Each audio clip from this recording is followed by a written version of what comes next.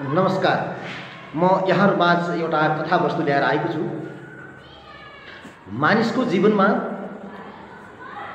कुनै न कुनै प्रकारको एउटा कहानी अथवा जीवनका घटना र परिघटनाहरूबाट जोडिएको हुन्छ। र ती अनुभव अनुभवहरूबाट हामीले आफ्नो जीवनलाई कुन दिशातिर लैजाने भन्ने विषयलाई हामी अग्रपङ्क्तिमा राख्ने गर्दछौँ। आज म यहाँहरूको माझ यही सेरोफेरोमा रहेर एउटा कहानी ल्याएर आएको छु। एकजना व्यक्ति असाध्यै धनी थिए। उनलाई जीवनमा कुनै प्रकारको अभाव थिएन र उनले बेलैमा आफूलाई आवश्यक पर्ने धनार्जन गर्न सफल भएका थिए। उनको जीवन असाध्यै राम्रो तरिकाले बितिरहेको थियो। एक दिन एक समयमा उनका पलहरू क्षणहरू बित्दै गए र उनले जीवनमा अनपेक्षित रूपमा दुःखको एउटा क्षण बेहोर्नुपर्छ भन्ने उनलाई महसुस थिएन। पछि उनीहरूले गर्दै आएको व्यवहार व्यापार बिजनेस बिस्तारै उनको उधो गतितिर लाग्यो र उनले निकै ठुलो घाटा बेहोर्नु पर्यो। र घाटा बेहोर्ने क्रममा उनको व्यवसाय पूर्ण रूपमा ध्वस्त भयो र उनी सडकमा आउनुपर्ने बाध्यता सिर्जना भयो। र उनी सडकमा आयो र उनले जीवनमा कुनै पनि पलमा अपेक्षा नगरिएको परिणाम उनको जीवनमा भोग्नु पर्यो। पछि उनले यस अवस्था त्यस अवस्थामा आइपुग्दा उनले एउटा निर्णय लिन बाध्य भए अब मैले यो जीवन जिउनुको कुनै सार्थकता छैन। यो जीवन जिउनुको कुनै अर्थ छैन भन्ने निर्णयमा पुगिसकेपछि उनीले आत्महत्या गर्ने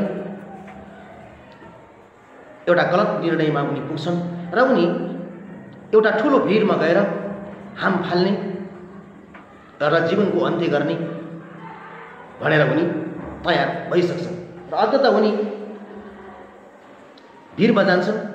जब उनी त्यहाँबाट हाम फाल्नको लागि तयार हुन्छन् त्यति बेला एउटा आध्यात्मिक व्यक्ति उनी कहाँ आइपुग्छन्? तपाईँ यो के गर्दै हुनुहुन्छ? यहाँ किन आउनुभएको भनेर प्रश्न गर्दा उनले आफ्नो जीवनको कथावस्तुलाई यथार्थ रूपमा पस्किए। पस्किसकेपछि ती आध्यात्मिक व्यक्तिले उनीमाथि फेरि पुनः प्रति प्रश्न गर्दै भने तपाईँ यस्तो सुन्दर जीवनलाई यो सुन्दर जीवनलाई यसरी किन खेर फाल्दै हुनुहुन्छ? म तपाईँलाई एउटा प्रश्न गर्छु र त्यो प्रश्नको जवाब मलाई तपाईँले दिनुपर्छ। तपाईँ धनी हुनुभन्दा पहिला के हुनुहुन्थ्यो? धनी नै हुनुहुन्थ्यो या गरिब हुनुहुन्थ्यो? गरिब। अनि तपाईँ धनी हुनुभयो अहिले के हुनुहुन्छ तपाईँ? तपाईँ म अहिले गरिब। हो तपाईँलाई पैसाले कमाएको हो कि? तपाईँले पैसा कमाउनु भएको हो? भने भनेर प्रश्न प्रश्न गर्दा उनले सहजै रूपमा अनुभूति गरे। र आध्यात्मिक व्यक्तिले फेरि भने तिमी हिजो गरिब थियौ विभिन्न किसिमका बाधा अडचनका बावजुद पनि तिमीले मेहनत परिश्रम गर्यौ र त्यो त्यसको प्रतिफलमा तिमी धनी भयौ तिमी धनार्जन गर्न सफल भयौ। तर केही स्टेप नजान्दा अथवा कामको सिलसिलामा हुने त्रुटिबाट तिमी आज यो स्थानमा आइपुगेका छौ गरिब छौ। फेरि तिमी कोसिस गऱ्यौ भने तिम्रो जीवनमा फेरि सफलता प्राप्त हुन्छ। दुःख र सुख यिनी जीवनका सहयात्री हुन् सहपाठी हुन् यिनी। नजिक नजिक हुन्छन् यिनी। दुःख पनि रहिरहँदैन सुख पनि रहिरहँदैन। त्यसकारण यो मानव जीवनमा एउटा हुने एउटा प्रक्रिया हो सामान्य प्रक्रिया हो। त्यसकारण यसलाई सामान्य रूपमा बुझ्नुपर्छ भनेर सम्झाइसकेपछि उनी फिर्ता हुन्छन् र मेहनत गर्ने परिश्रम गर्ने अटोटका साथ फेरि आफ्नो व्यापार व्यवसायमा तल्लिन हुन्छ यस कथावस्तुले छोटो भए पनि यसले मानव जीवनमा हरेक व्यक्तिमा हुने उतार चढाव र तनावको विषयलाई कम गर्न यसले मद्दत गर्नेछ भन्ने मैले आशा लिएको छु। म र अन्त्यत म यहाँहरूलाई यो कुरा पनि स्मरण गराउन चाहन्छु। सुख र दुःख सँगसँगै हुन्छन्। समस्या र समाधान पनि सँगसँगै हुन्छन्। सुरु भएपछि अन्त्य अवश्य हुन्छ। जन्मपछि मृत्यु हुन्छ। यो संसार सत्यलाई हामीले स्वीकार गर्न सक्नुपर्छ।